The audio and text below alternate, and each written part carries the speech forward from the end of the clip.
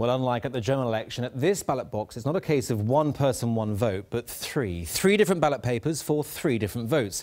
And just remember, pink, yellow and orange. Pink first, it's for the all-important mayoral election. Remember, you can cast a first and second choice for mayor. First choice in the first column, second choice, second column, both with a cross. And here's why that second vote really does matter.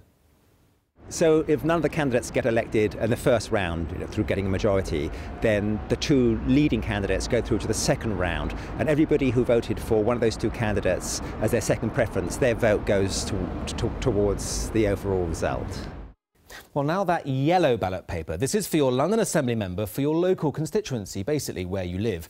There are 14 in all for London, and here's who they went to at the last election, split between Labour with eight and the Conservatives with six. So why do they matter? The Assembly holds the Mayor to account, it can veto budgets and key strategies, uh, it can bring matters of concern to Londoners before the Mayor and, and so on. That just leaves the orange ballot paper. This is for your choice of party or independent candidate to represent all of London on the Assembly. There are 11 London-wide Assembly members in total. So just remember, pink, yellow, orange.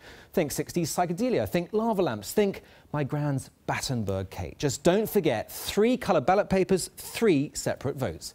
And pink, well, that's for the mayor.